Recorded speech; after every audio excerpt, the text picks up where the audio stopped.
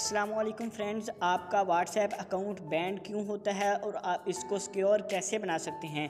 तो दोस्तों, कल वाली वीडियो में हमने बात की थी कि आपका अकाउंट किस तरह से हैक हो सकता है और फिर बैंड हो जाता है और आप क्या सेटिंग करेंगे कि आपका अकाउंट कुछ सिक्योर हो जाए।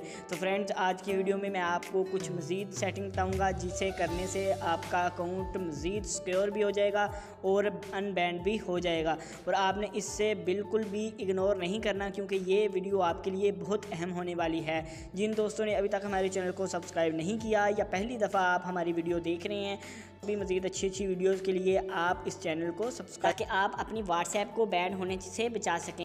आपने पहले टू स्टेप वेरिफिकेशन को ऑन करना है और अगर आपके व्हाट्सएप में कोई वीडियोस पिक्चर या कीमती डाटा है तो आप अपने व्हाट्सएप को पासवर्ड लगा कर रखें। व्हाट्सएप पर आने वाले किसी भी लिंक बिना सोचे समझे हरगिज़ क्लिक ना करें और किसी भी तरह का वेरिफिकेशन कोड कहीं भी अप्लाई नहीं किया हो किसी के साथ भी शेयर ना करें। आपने किसी एरे गहरे सारे ग्रुप्स को ज्वाइन किया हुआ है और इसमें आपका नंबर मौजूद है जिसकी वजह से अननाउन लोगों के पास आपका नंबर जाता है।